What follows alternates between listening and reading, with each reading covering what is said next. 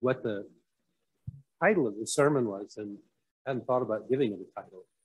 So as I was thinking as we sat here, um, I guess briefly I would say the title is Don't Complain, Get Help. Don't complain, get help. So I'm speaking from uh, Numbers 11. I was asked to talk about leadership in the Old Testament and how that might relate to us now in the New Testament. And uh, sorry, I'm a teacher, so I'm going to say teacher thing first. Um, obviously, not everything in the Old Testament applies to us. We have to do very careful hermeneutic study of the Bible to know which parts are part for us and which parts are not. For instance, the church is not called to execute people who commit adultery. Some Re Reformation figures thought that was the case. So it's important that we, we get a good grasp on, on the difference between the Old Testament and the New Testament. At the same time, the Old Testament does give us exemplars or examples or precedents of things that do follow through. And in this particular passage in Numbers 11, we're told about how Moses appoints 70 elders. And the word in Hebrew is literally old men, not just anybody, but old men to help him deal with the people. That maybe his day, the old men were more respected, but they were definitely old men. And God pours out his spirit upon these 70 in the same way that he had poured out his spirit on Moses. So Moses needed help. God gave him the 70 elders and he poured out his spirit on, on them. So the context of this passage is about the people of Israel complaining. They, they complained. You read the history of the people in, in, the, in the desert, they complained a lot. And they started complaining against manna. Probably you've heard somebody say that manna is Hebrew for mana. What is it? They didn't know what it was. They didn't know what to call it. So they, they named it, what is it? Mana. And it was apparently a good thing to eat. It had some properties that when it was mashed, it changed a little bit, became like olive oil. But the main thing was that the people started to complain. We're sick of this manna, too much manna. I don't know if any of you remember Keith Green, but he had a song about we want to go back to Egypt. Well, this is that, that passage. We want to go back to Egypt. We're sick of the manna. We want to go back to Egypt. And their complaint is absolutely ridiculous. The Egyptians didn't give them leeks and onions. They gave them straw. They wouldn't even give them straw to make their bricks. They were slaves, but they have this sort of romanticized idea about what it was like in Egypt. And granted, the place that they were in was very desolate. The desert they were in uh, didn't provide for them, but God did, and they complained. And then Moses complains. and this is not the first time he's made this sort of complaint, but he says, This is just too much for me. I can't carry the weight of these people. There's just too many. There are 600,000 fighting men. So yeah, if, if you kind of try to do the math and say, well, 600,000 men, 600,000 wives, two or four kids for, for a couple old people that are still around, probably about 2 million people. This is an extremely large group of people to feed and an extremely large group of people to govern. And he was basically their governor. This reminded me in the New Testament when Jesus says to the apostles, uh, they come to him and they say, you know, you should send the crowds away it's getting late. They need to eat. I send them away to get something to eat. And Jesus looks at them and he says, You feed them. And they say, bah, bah, bah, It would take months of wages to do this. And let me just read the passage. Jesus said, You feed them. And they say, With what? We'd have to work for months to earn enough money to buy food for all these people. Jesus asked, How much bread do you have? Go and find out. They came back and reported, We have five loaves of bread and two fish. Then Jesus told the disciples to have the people sit down in groups on the green grass. So they sat down in groups of 50 or 100. And Jesus took the five loaves and the two, two fish, and he looked up to heaven. He blessed them, he prayed. Then he broke the loaf. He was breaking those loaves into pieces, and he kept giving the bread to the people. It's not like he broke it and then he gave it, but he kept giving it, kept giving it, and kept giving it. It was clear that he was multiplying it, and they distributed that bread to all the people, and they gave people as much fish as they wanted. They all ate all that they wanted, and afterward, the disciples picked up 12 baskets full of leftover bread and fish. And there were about 5,000 men and their families that day. So at least about 20,000 people. Um, so the disciples saying, How can we do this? We can't do this. This is too much. Moses has the same sort of reaction. And yet, when we think about Moses, what had he already seen God do? He'd seen the 10 plagues, right? He'd seen God destroy the Egyptians. He saw the sea open and close on Pharaoh's army. He himself had lifted the staff and opened the sea. And yet, here he is in the desert. He's tired and he starts to complain. Now, I'm going to speculate a little bit. Uh, why does Moses complain? Well, first of all, it seems like we get the idea from the scripture that he had a weak self image. Maybe it had to do with being driven out of Egypt when he murdered the man and had to go and hide in the desert, He saw himself as nothing more than a shepherd. Uh, but he said to God at one point, Make my brother Aaron the spokesman. I don't speak well. So he was constantly sort of shifting things uh, toward other people. And in this case, with the feeding, he'd already seen uh, the, the water separated. Maybe this is a little speculation, but he was an Egyptian prince. Right? He was raised by the Pharaoh's daughter. So I assume he knew how to read and write. He wasn't just any old shepherd. I think Moses was just plain tired. They'd been in the desert a long time. Uh, he was basically the judge or the, uh, the person that they would come to to intermediate, to mediate between people. And he just was tired, constant complaining, constant whining, and he was just worn out. He even went so far as to suggest that God should just kill him. I can't stand it anymore. Just kill me. Well, I think you're going to have a session about depression after this. When people are very depressed, sometimes they reach that point. I can't carry this anymore. Just too much. And Moses, Moses was tired. But God doesn't rebuke Moses about being tired outrightly. And that reminded me of Elijah.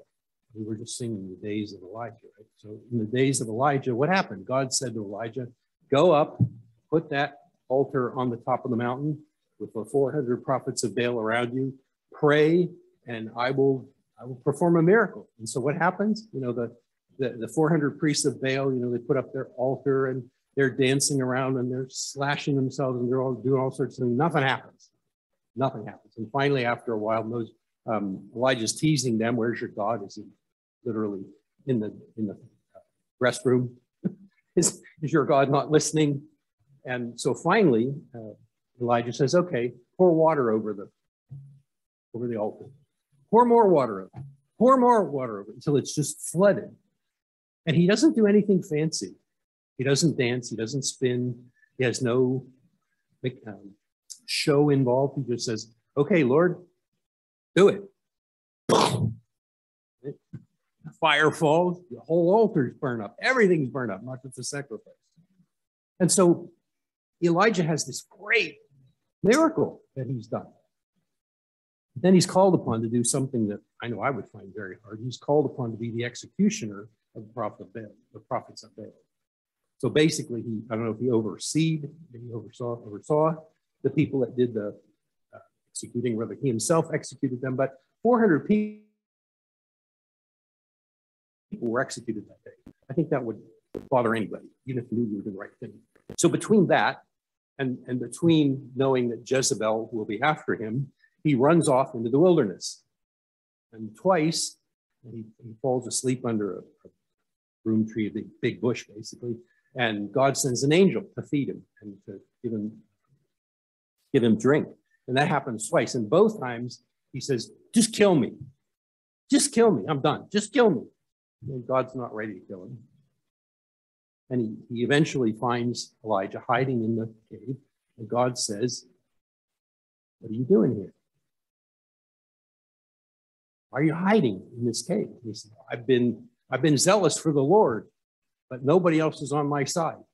This, this woman, she's after me. God's point is, I was there before and I'll be there afterward. You don't need to fear her. And, and yet it was very hard for him. He, he again also said he wanted to die, but God didn't, didn't do that. But God did transfer the, the power of the prophet, the leadership from Elijah to Elisha. So God seemed to know that Elijah was tired. It was time for replacement. Another thing I would say about Moses complaining is that, in a way, it led from his being excluded from the promised land. Now, okay, specifically, it says he struck the rock. Because he struck the rock, he was excluded. But this pattern that he had of complaining and not trusting God was something that continued. And when the people complained about not having water and he went up and struck the rock, that was disobeying God's command. God didn't tell him to strike rock, but he was angry. He did something that was done in anger, and as a result, he didn't obey God in the sense he didn't give God the glory. And this generation of men that, that were in the wilderness seem to have a perpetual problem. They just don't trust God.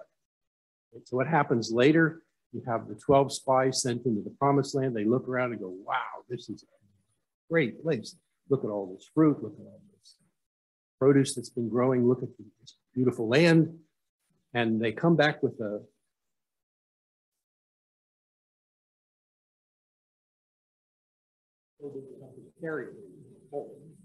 So it's a, it's a land flowing in rich in milk and honey, exactly as they were told. But they see these very tall warriors, the men of this land, and they're afraid. And they come back and they give a bad report. And the bad report is that they were afraid. And they told the people, we can't do this. We shouldn't go up against these people because they could they could kill us. They're sons of the giants. And that, that kind of lack of faith is something that unfortunately we even see in Moses, we've seen in Elijah.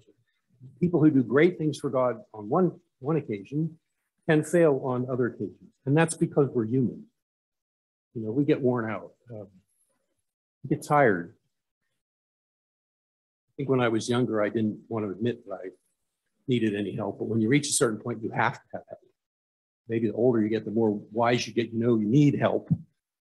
And so God doesn't really punish Moses for complaining, he, he in, the, in the end punishes him for direct disobedience. And I guess the point I want to make here is that God doesn't punish us because we're weak. He doesn't punish us because we have an illness, because we need help. But if we start a habit of complaining, as the people of Israel did, as Moses did, it's very hard to break. I'm not preaching at you, you know, the thing about I'm, My one finger's pointing back at me if I'm preaching. Um, I have the joy of having my brother and or my brother-in-law, and my sister, and my daughter and my granddaughter right here today. And um, my grandfather McVeigh, who I'd like to talk about for a little bit, was a very simple man. He hadn't graduated from grade school. He had to go work when he was 10 years old. He had a job with his brother of driving a wagon with a mule up this very steep hill in Pittsburgh to deliver ice to people to put in their ice boxes. He was the one of seven brothers and one sister in his very poor Scotch Irish, as he used to say, family. Later, he became an electrical lineman with the county, the county electric company, even though he was red green colorblind, which is something I inherited. but he worked at, at that job for 40 years. And in the process in, in between, he found time to complete his GED, examination for a high school diploma. My grandfather was a Methodist deacon. When he died, the church closed. I'm not kidding, literally, that church closed. He loved to sing hymns like Up from the Grave He Rose. He sang it with great gusto, and he had a voice like a bullfrog. it wasn't necessarily lovely, but it was enthusiastic. He made a joyful noise to the Lord. My grandfather realized at some point early on in his adult life that nobody liked their complaints. And he was struggling with that sort of thing himself. And he found some help, whatever you think about these sources, but he found help from Andrew Carnegie, how to win friends and influence people. He found help from Norman Vincent Peale, who was a positive, positive thinking kind of advocate.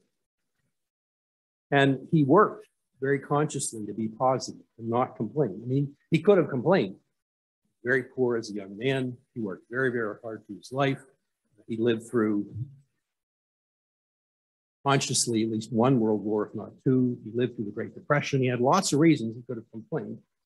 Uh, but he tried to do what the Apostle Paul says let no unwholesome word come out of your mouth, but only such a word as is good for building up the hearers. Now, when I was a young Christian in college, we memorized that verse, and the idea was don't swear, don't curse. Well, it can be included in that, but Paul is speaking about something broader than that. Don't give a bad report if you want to go back to the 12 spies. So, speaking something positive, uh, speaking something good is something we ought to do. And uh, my grandfather was known to be somebody that joked. I don't know how that sits with you all, but he had a joke all the time. So if anybody started to complain, he'd tell a joke.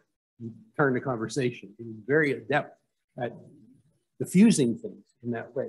And he worked at that. And so I, I feel like I haven't attained it, but I feel like it's an example I have from my past of one of my forebears who made wise choices. So when Moses complains, uh, God says, All right, find 70 old men and point them to be with you as those who will lead, those who will judge, those who will give instruction. He gives him instruction on how to choose those helpers and to appoint them. But not only does God appoint them, but he puts on them his spirit. And generally speaking, in the Old Testament, the Spirit of God is only on God's prophets. The Spirit of God comes on the anointed one, the Messiah, but not on general people.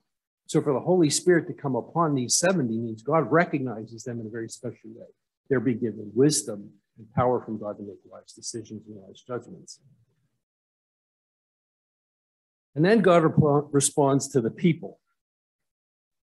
First, he says, You want quail? You're going to have quail till it's coming out of your nostrils. You're going to be sick of it. You won't want any quail after this. So not only does he provide the meat that they argue for or want, he gives them much more than they really could deal with to show that he was able to provide.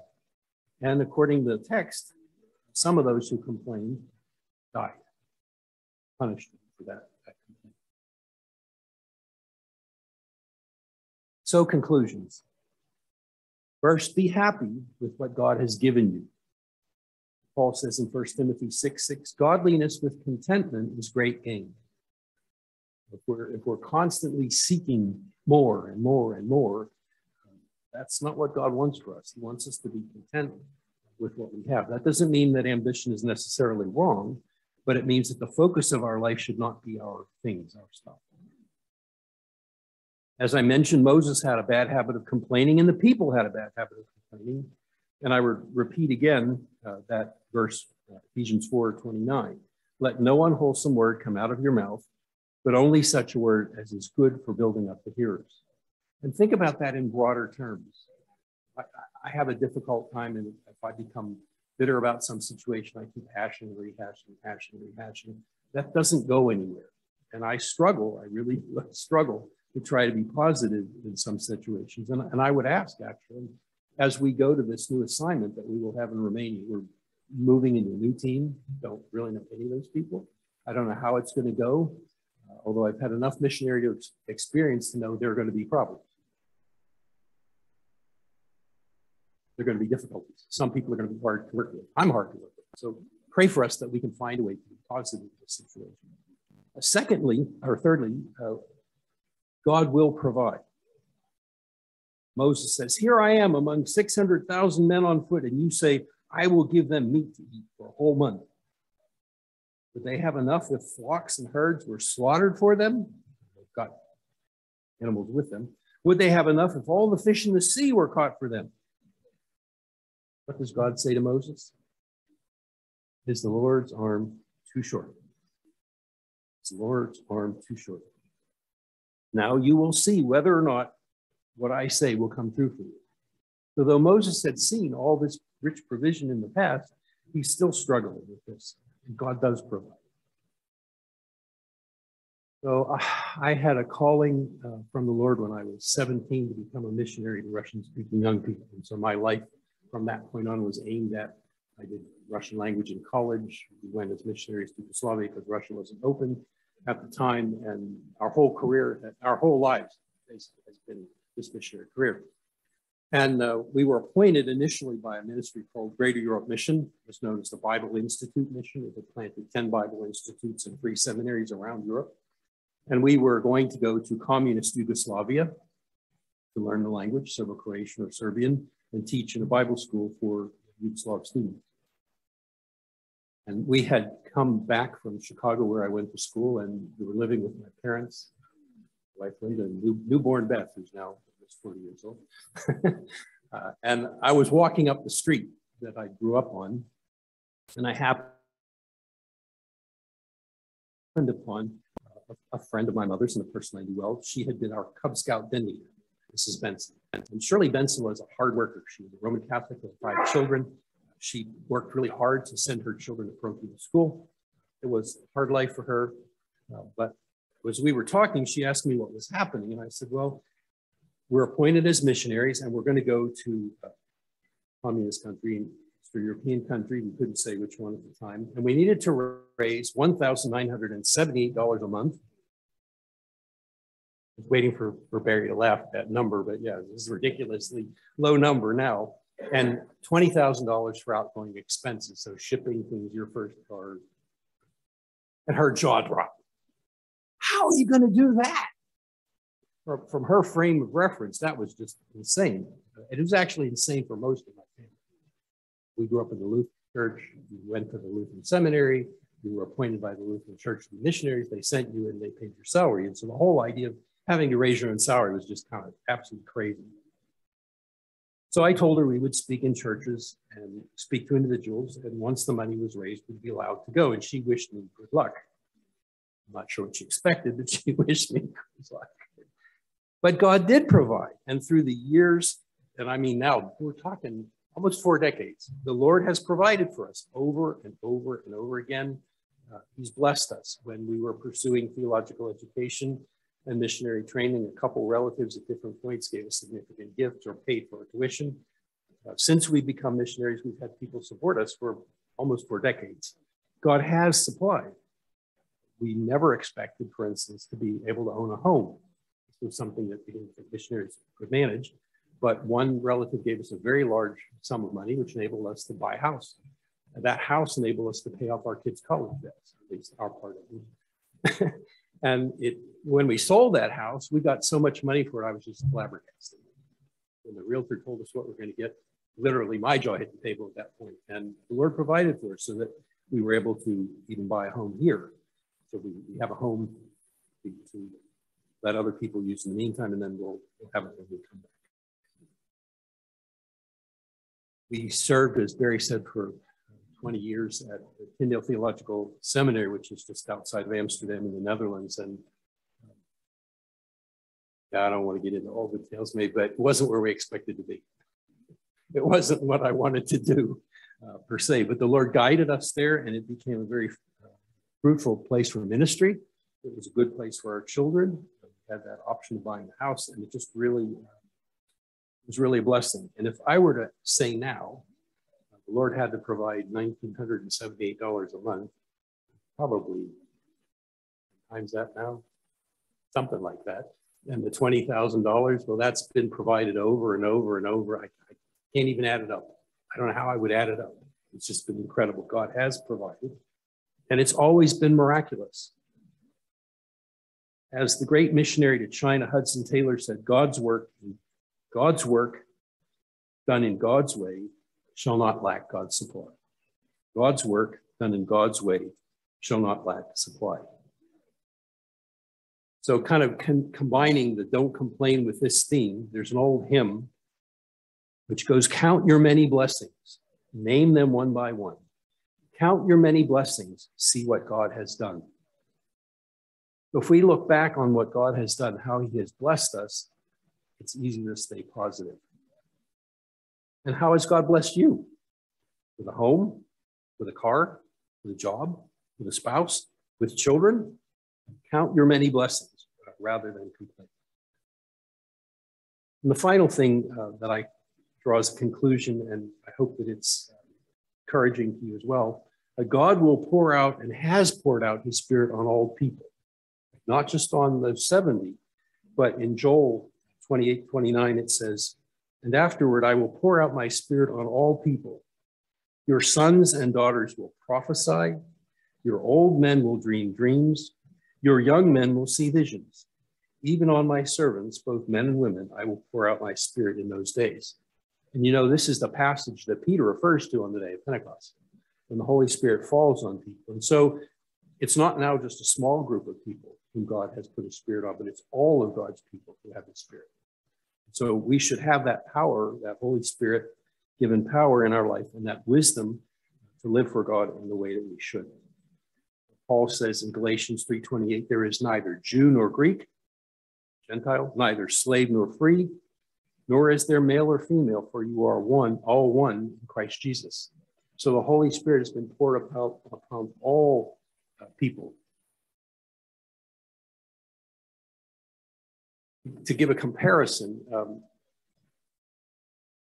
those of us in the, the free church movement or in the, um, the non-sacramental tradition don't believe in priests. Right? You don't believe that there's only certain people who can go forward to the altar and, and do the Eucharist and provide that blessing to us. All people are God's servants. All people are God's priests. We call that in the Protestant tradition the priesthood of the believer. All of us are called by God to serve. All of us are given strength to serve. So, in these New Testament days, God is using both men and women to advance his kingdom, and he, pour, he has poured out his spirit on both men and women and both are called able to do ministry.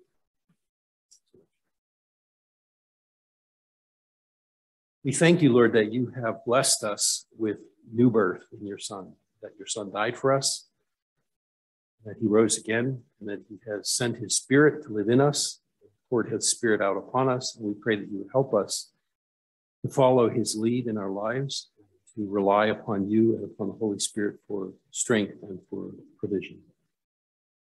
We pray in Jesus' name. Amen.